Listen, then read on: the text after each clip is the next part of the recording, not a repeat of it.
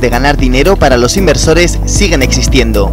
Desde Saxo Bank, el principal banco de inversión que opera online con origen en Dinamarca, trazan una estrategia de perfil conservador pensando en el pequeño inversor. Creo que, que en todo caso podemos tener una visión positiva si vemos que se rompen esas resistencias y se consolidan. Para el inversor conservador, la cartera que tenga, desde luego va, va a estar en buena situación si, si vemos que el mercado rompe resistencias 2007. Por lo tanto, de momento, expectativas de, conservarlo, o al que no esté en el mercado mantenerse en liquidez, sencillamente a la espera de que se rompan. Si vemos que se rompen esas resistencias, en todo caso, el incremento de posiciones o el tomar posiciones para los que estén en liquidez, compras.